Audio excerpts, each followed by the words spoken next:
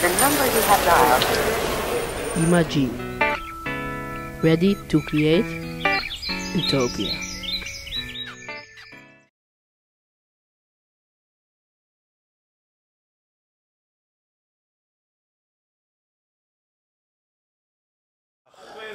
Ja, dit is een hele goede vraag. Samenleving vandaag de dag. ehm, ja, zelf als artiest, als kunstenaar, hoe je het ook wil zeggen, beleef ik de dag normaal in Nederland. Maar ik denk, eh, de tijd is zwaar veranderd, om de waarheid te zeggen. Als ik terugdenk aan mijn tijd dat ik 16 was en de jongeren die nu 16 zijn, hebben ze een zware bagage. Wij hebben het toch wel iets makkelijker gehad, denk ik. Dus de tijd, zeg, denk ik, moeilijker is. Veel, veel moeilijker dan vroeger.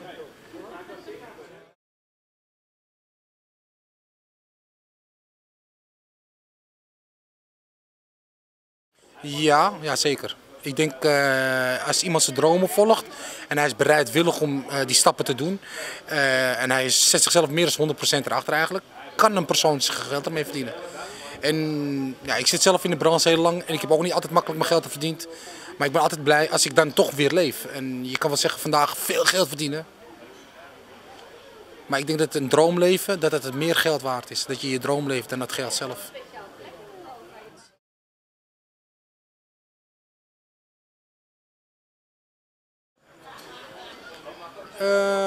Ja, ik denk eh, natuurrampen zijn eigenlijk eh, dingen die mensen moeten wakker schudden van dat er nog wat gaat gebeuren. Dat we eigenlijk helemaal niet bijzonder zijn. Dat vandaag zijn we er, morgen zijn we niet.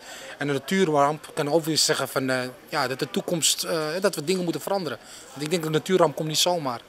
Eh, een voorbeeld is hoeveel olie trekken wij uit de grond. eh, en dat gaat allemaal de auto's in of de vliegtuigen in. En ik denk dat die olie nut heeft. Dat zit niet zomaar daar in de grond. En ik denk als wij zo door blijven pompen, krijgen we natuurrampen.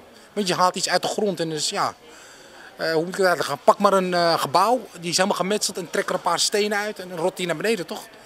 En nou ga je in de grond ga je olie eruit halen en komen gaten in. Ik vraag me af, gaat het niet eh, een keer zakken? Zo. Dus ik denk van wel, ja, inderdaad. Ik denk dat natuurrampen wel iets zijn om mensen wakker te schudden om te kijken van, dat kan wat gebeuren.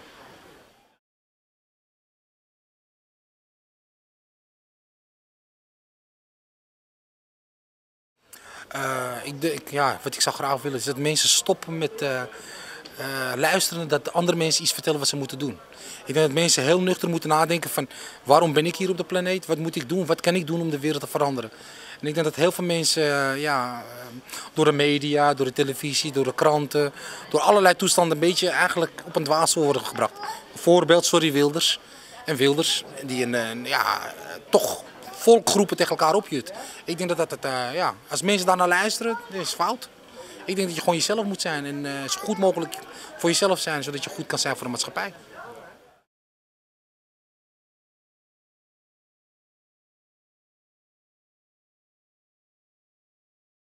Eh, nou, wat ik persoonlijk zelf bijdraag is mijn, mijn droom, sowieso, de vraag wat jullie net stelden. Mijn droom is om dingen te realiseren en iets achter te laten voor de, de toekomst, voor de generatie van de toekomst. Nou, zijn wij toevallig allemaal bezig met muziek. Eh, door middel van muziek proberen wij een steentje bij te dragen dat de wereld ook anders is. Eh wij hebben artiesten die binnenkomen en die hebben een tekst over, eh, laten we zeggen, gokverslaving. Of ze hebben een tekst over eh, racisme. Ze hebben... En dat zijn allemaal dingetjes die eh, ja, toch een beter iets brengen in de maatschappij.